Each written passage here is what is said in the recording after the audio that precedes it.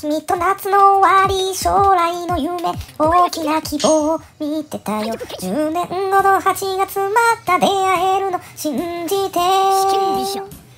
最高の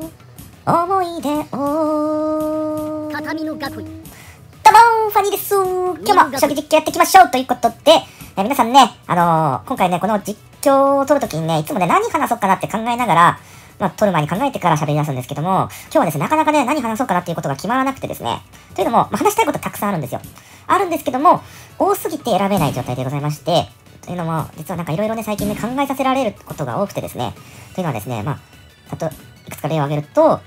こう人はいつ死ぬかわからないっていうことと、あと本当にやりたいことを今やれてるのかとかですね、あと人生は一回しかないんだよということですとか、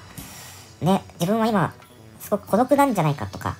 思ったりしております。でたくさんあってね、何から話そうかなってずっと話まとめようと思っててもちょっとまとまらなくて、えっとね、もうその、ま、迷ってますっていう話をもう話そうと思って、もう普通に、こうこのうまく話そうっていうわけじゃなくて、こうたくさん話したいことがあるんだよっていうことを、もうこのまま話しちゃおうと思いまして、で、例えばまあ一個例を挙げると、その中でもね、最近その今家でね、こう過ごす時間が増えて、うん、こうコロナでね、どこも人と人との関わりが少なくなったり、交流が少なくなってるじゃないですか。で、僕、あの、一人暮らしなんですけども、こうやってこう一人で部屋でね、実況撮ったりしてるんですけど、ふとね、なんかこう、あれこれ、孤独じゃないかって すごいね、思うんですよ、たまに。うん。このたくさんの方にね、今ネットが見てもらって、チャンネル登録していただいて、すごい幸せな状況なんですけど、ふとこの世界で自分はすごい孤独な存在なんじゃないかなんて、こう、センチメンタルな、格好つけた思いがね、湧き上がってくるわけでございますよ。で、その度にね、こう、まあ、でもな、忘れて、こう、過ごしてるんですけども、その他にね、あとは、実際にこう、やりたいことって、やれてんのかなとか、今の、こう、ことを、ね、なんか YouTube みたいになんないって暇な時してますけど、暇な時にやることって結構大事だなと思ったりもしておりまして、うん、この僕のチャンネルももしかしたら5年後、10年後のためになってたりするので、こうね、これでね、僕何も実況してなかったら、多分また人生変わってたと思うとかね、そういうことを考えたりしちゃって、眠くな、な、あの、眠れなくなったりすることございませんか？ということで、はい。まあなんかこう今いろいろ深く考える時期だったので、今回真面目な回として、はい、お話しさせていただきました。ということで、将棋のお話もしていきたいと思います。今ね、銀で取り返してこない。振ればこれ取って、そしたらね、これ飛車先の風で、飛車をどかせば飛車走れるんで、取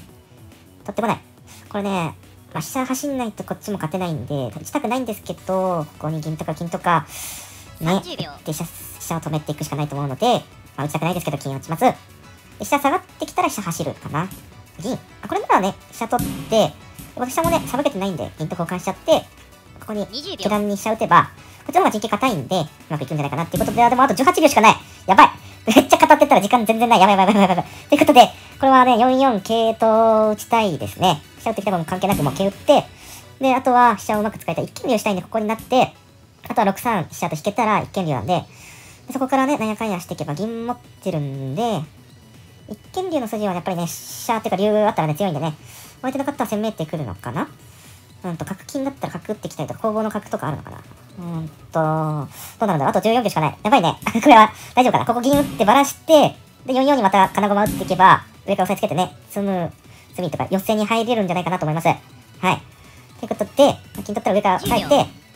あ、そこに逃げたら竜引いて、あとやばい。時間がない。大丈夫かなこれ。積むかなこれ金上がって、で、玉は避けたら、これは下から銀打って避けて、金で、どうでしょうか？あ、それだと金で。おっしゃーやったよー危なかったー最後の銀打ち、なかなか良かったんじゃないですか。なんかこう、鬼神が舞い降りてきたような感じでございますね、自分の中に。鬼神表示したもしかして。最後のここのね、頭金って銀と金だけでやべえなと思ったんですけど、この辺からね、こう玉で金で、この銀打ち。これ。よく気づいた自分。これ以外だって詰み筋ないですよね。3二金と打っても銀しかないから。で、3三には打ってもね、同桂とか同角で取られて詰まないし、竜切る手も銀銀金じゃ詰まないから、ここはうまく寄せられたんじゃないでしょうかっていうか、詰みが見つけられたんじゃないでしょうかはい。皆さんね、あのー、私も、こう見えてね、いろいろ悩んでおりますので、同じくね、皆さんもいろんな悩みあるかと思いますので、え、今後もね、まあ人生長い、皆さん私の同世代の方が多く見られていらっしゃるので、まだまだ人生長いので、いろいろ悩んで、苦しんで、楽しんで、笑いながら生きていけたらなと思いますので、よろしくお願いいたします。ということで、今回もご視聴ありがとうございました。ファニーでございました。またねー